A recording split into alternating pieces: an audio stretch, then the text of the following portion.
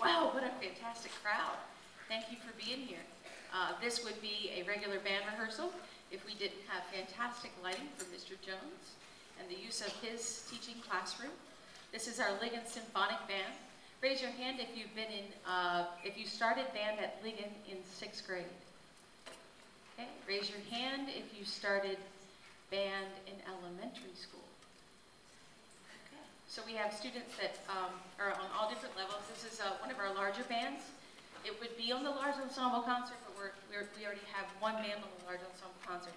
But this is our symphonic band made up of our typical flutes, clarinets, bass clarinet, French horn, saxophones, bari sax, tenor sax, trumpets, euphoniums, tubas, trombones, and an array, of which one of our pieces will feature the percussion section.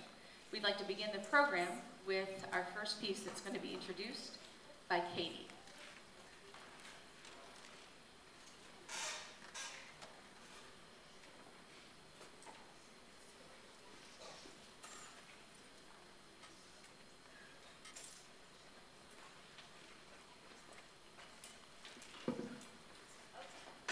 Hello, my name's Katie and I was asked to read this in a British accent because this piece is called At the Feast of Stephen. It's um, originated in England, hence the accent. And this novel setting of the traditional carol Good King Wenceslas will musically transport you and your students to the royal Christmas banquet hall of a medieval king.